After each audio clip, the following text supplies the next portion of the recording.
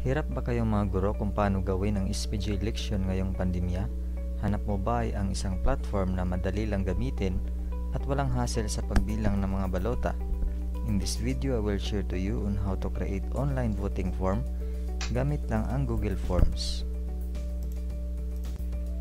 Pero bago pa ang lahat, please don't forget to smash the like button and if you're new to this channel, don't forget to subscribe at isama mo na din ang notification bell para updated ka sa mga videos na i-upload ko in the future.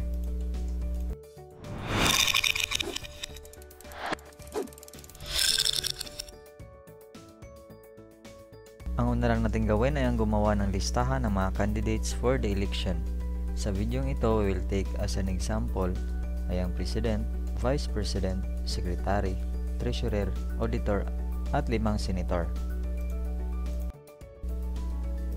Next ay mag-open tayo ng browser at siguraduhin na nakapag-login na tayo gamit ang ating Gmail.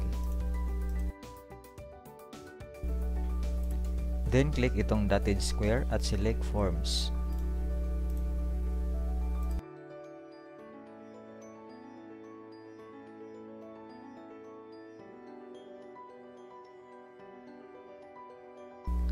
Pagkatapos, piliin itong blank form.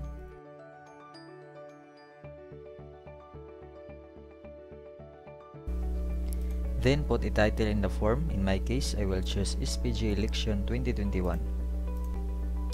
At pwede mo ding lagyan ng instruction sa may bandang baba sa may description box.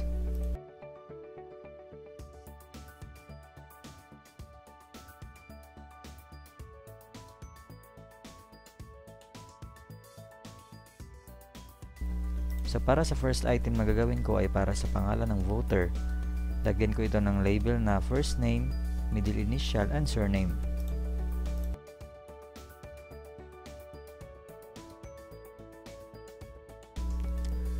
Dito naman sa may bandang gilid, dahil need i-type ng bata ang kanyang pangalan, siguraduhin na nakaset ito ng short answer.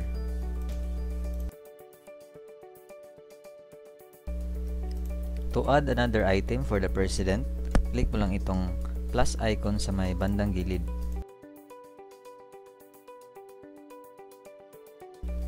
I will name this item for president.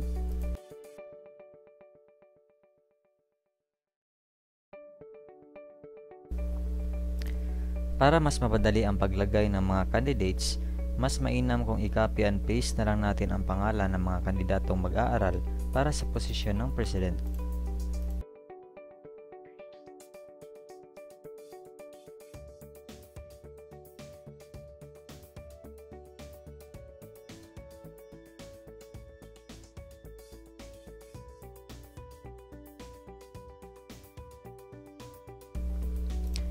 Be sure na naka-multiple choice ang item type for the president. Multiple choice ang dapat piliin kapag iisang kandidato lamang ang dapat na piliin ng mga botante. Kapag gusto mong i-require ang mga botante na mag-vote for president, just click required. For next item naman for vice president, click mo lang yung plus icon.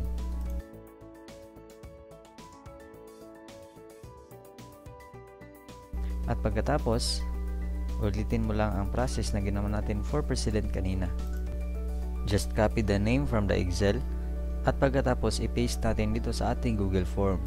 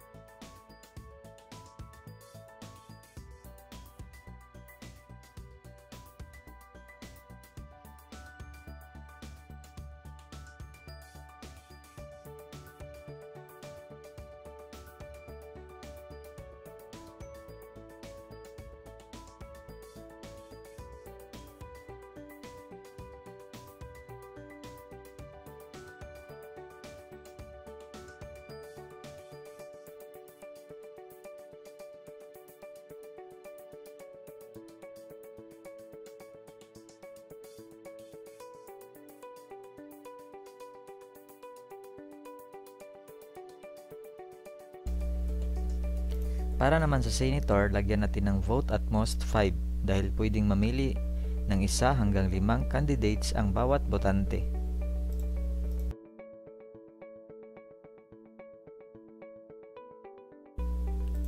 Dahil more than one ang dapat piliin ng bawat botante, palitan natin ang item type from multiple choice to check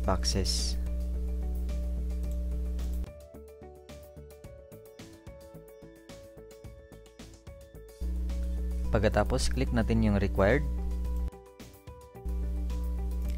Okay, sa gilid ng required, click mo yung dotted icon at piliin ang response validation.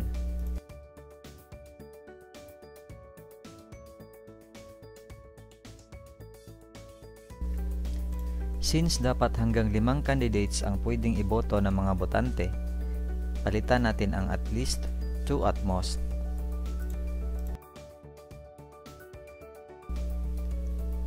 At pagkatapos dahil 5 ang gusto nating dapat lang na iboto, then palitan natin ito ng number na 5. Okay, dito naman ito ang gusto nating mag-pop up na error text. In my case, lagyan ko ito ng vote at most 5.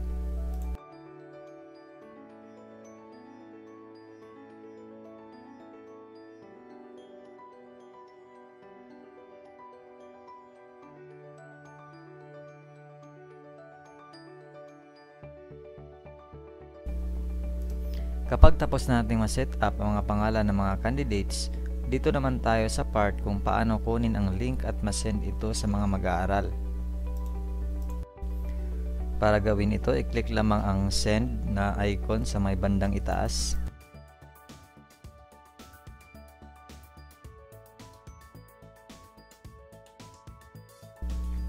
In here, pwede rin natin ilagay ang ating email address para doon ma-send ang link sa ating email or pwede mo ding i-click itong link icon sa may bandang gitna. At pagkatapos i-click mo itong shorten para mas lumiit yung link na dapat nating isend sa mga mag-aaral. At pagkatapos i-click mo yung copy.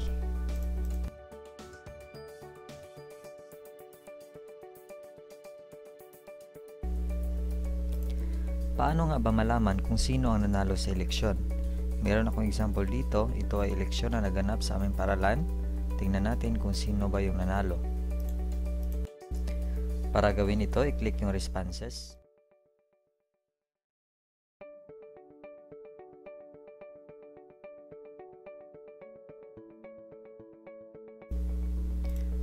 Okay, may nakikita tayong graph which is the summary of the responses kung sino yung may malaki na percentage, sila yung nanalo sa eleksyon. That's all for this video. Kung may natutunan ka sa video ito, don't forget to click the like button. Bye-bye!